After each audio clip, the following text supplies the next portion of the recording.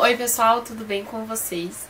Vídeo de hoje então, como vocês já devem ter visto pelo título, é pra gente conversar um pouquinho sobre o Valfrido, do Gustavo Piqueira. É, eu recebi esse livro do pessoal da Lote 42. Caso alguém de vocês não conheça ainda, o Gustavo Piqueira é um designer gráfico. Ele tem a Casa Rex, é o estúdio de design dele, que ganha vários, vários, vários prêmios. Vou deixar o link deles ali embaixo, vocês podem dar uma olhada. É, eles têm várias coisas bem legais. E ele também faz livros. Eu gosto bastante do que eu já li dele, eu não, não li tudo dele, mas eu vou deixar alguns links é, de coisas que eu já li pra vocês. Então, o primeiro livro que eu li foi O Seu Azul, que também é publicado pela Lote 42. É um livro que tem areia na capa e tem um jeito muito interessante de criar um personagem por meio de desenho e tal. Eu escrevi uma resenha para ele pro Rascunho, então eu vou deixar o, o, o link da resenha ali embaixo. Eu também já li o Mateus, Marcos, Lucas e João, que foi publicado pela Edusp, tem vídeo aqui no canal, vou deixar o link ali embaixo. E o Lulu, Lululux, eu acho que é isso. Eu sempre erro a quantidade de luz que tem na frente. Que é um que tem um formato de jogo de jantar e tal, vem numa caixa assim de madeira bem legal também, também vou deixar o link ali embaixo. Enfim, blá blá blá blá blá blá, vamos falar sobre o livro, né? É, o que é esse livro? Esse livro é um pouco diferente. Na realidade, ele é ao mesmo tempo um relato e uma reflexão sobre uma ação que foi feita pelo Gustavo Piqueira e pelo pessoal da Lote 42 no final do ano passado. É, então eles testaram um, uma gráfica, um negócio de impressão super barato e começaram a imprimir alguns panfletos. E esses panfletos tinham relações um com o outro e contavam uma espécie de história. E eles mandaram esses panfletos por um serviço dos Correios chamado, acho que mala direta, mala postal direta, mala direta domiciliária. Domi é, isso aí. Enfim.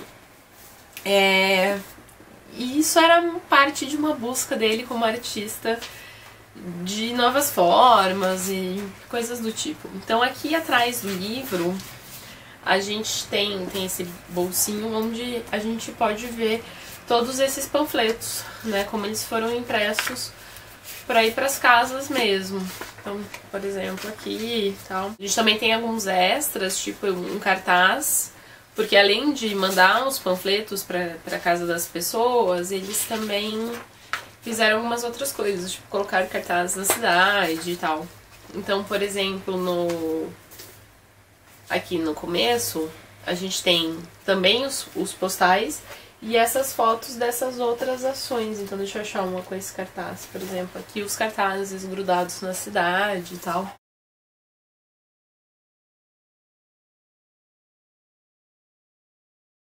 Então primeiro a gente tem esse registro né, de imagens. Depois a gente tem essa reflexão do, do escritor que sensacional. Enfim, gente, é difícil explicar o que, que é esse texto inteiro, mas é uma reflexão do, do Piqueira sobre essa, essa tentativa de buscar novas formas e essa inquietação, né, de sempre querer fazer algo diferente.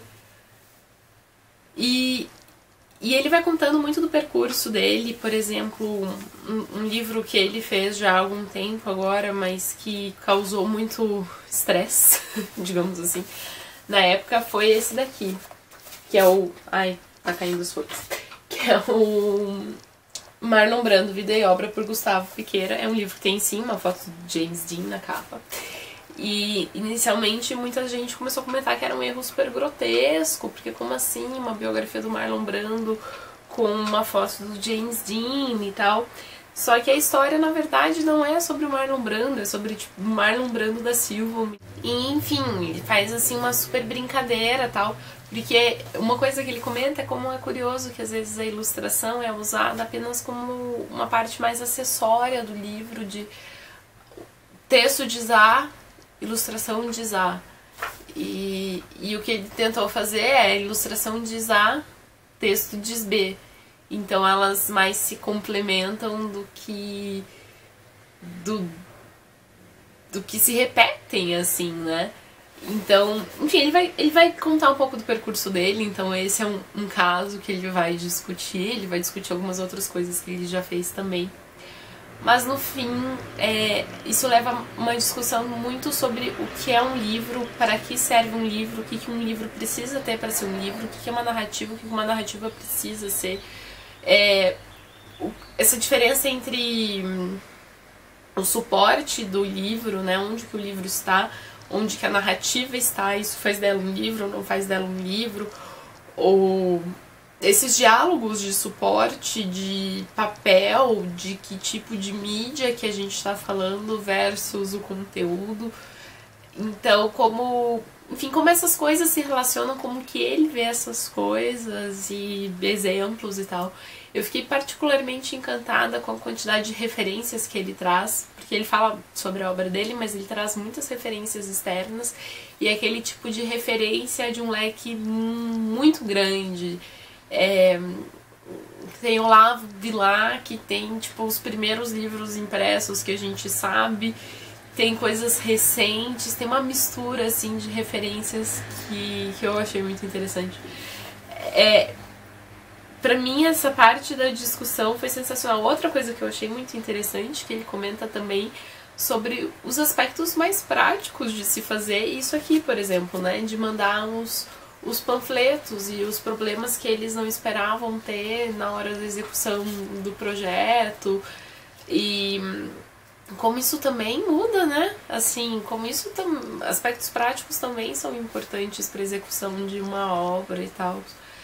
Então, enfim, gente, eu achei um livro muito legal. Eu acho que todo mundo, assim, que gosta do livro como mídia devia entrar em contato com isso, porque eu acho que tem questionamentos muito interessantes e até bastante atuais quando a gente já se acostumou a chamar um e-book de livro, né? Quando ler no Kindle ainda é, é considerado um livro, por que, que algo assim não, não é um livro, por exemplo. Então, toda essa, essa questão aí eu achei muito interessante. É, só para mostrar aqui também a parte do livro mesmo, ele tem essa espécie de jacket, que é mais, mais curtinha. E aqui tá o livro. Ele tem esse, essa espécie de capa dura que fica exposta. E, enfim, ele fica mais gordinho porque, né, agora os panfletos estão aqui fora, mas eles vêm aqui no bolsinho aqui de trás. Bom, pessoal, é isso. Eu vou deixar também o link ali embaixo para o site da Lote 42, caso vocês queiram dar uma olhada mais, mas recomendadíssimo. E espero que vocês tenham gostado. Caso você já tenha lido também alguma coisa do Gustavo Piqueira, me avisa o que você achou nos comentários. E até mais!